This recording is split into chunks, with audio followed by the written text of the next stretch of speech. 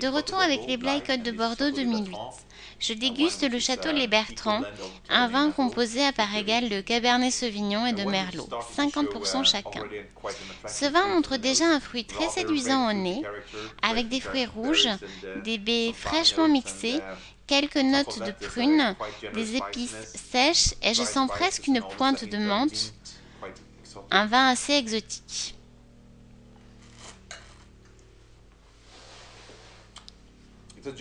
C'est un vin généreux avec une structure souple et beaucoup de fruits sucrés, plutôt succulents et avec un bon niveau de fraîcheur. Un vin à acheter aujourd'hui et à conserver en cave pendant un an avant de le boire, car cela permettra au tanin de s'ouvrir.